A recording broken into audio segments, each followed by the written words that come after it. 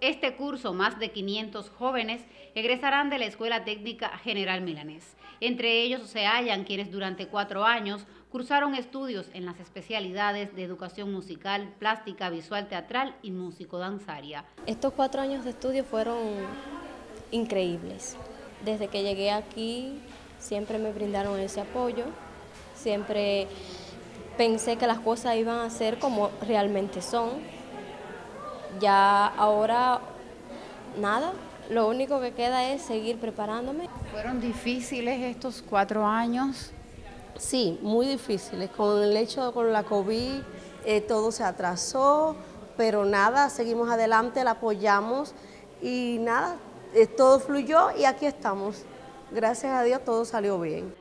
El proceso de aprendizaje no fue siempre sencillo. Al plantearles el reto de asumir prácticas preprofesionales en aulas integradas por niños y adolescentes. Fue un reto porque los muchachos al vernos con el uniforme mismo de ellos, ellos creen que nosotros somos estudiantes igual que ellos. Fue difícil, difícil, difícil. Y sí me gustó darle clase a los estudiantes. Al principio sí, viste, como cualquiera sentí miedo, pero ya después fue una experiencia muy bonita, sobre todo al interactuar con los niños, con los estudiantes y que te digan profe y todo eso. Fue algo muy lindo. Fue tan lindo que yo puedo ser maestra hasta que Dios lo decida.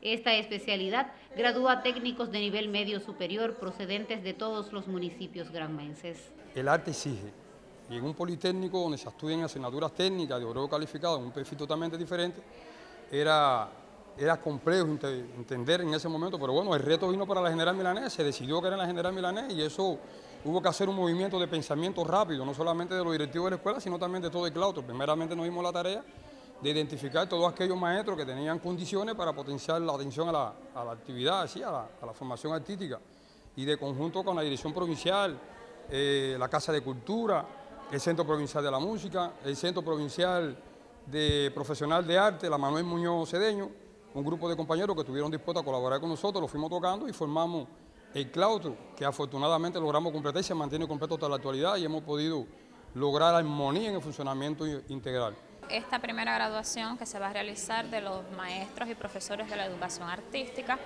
que estarían comprendidos en los niveles educativos de primaria y especial y secundaria básica en séptimo grado. Ellos estarían impartiendo de primero a sexto grado la educación musical y la educación plástica y en la secundaria básica estarían dando la educación artística y en décimo grado la cultura artística. La carrera pedagógica de la enseñanza artística surgió en 2018 en Cuba, dada la necesidad de esos profesionales en escuelas primarias y secundarias. Los egresados de dicho perfil poseen garantía de empleo y continuidad de estudios superiores. Jacqueline Pérez, Sistema Informativo de la Televisión Cubana.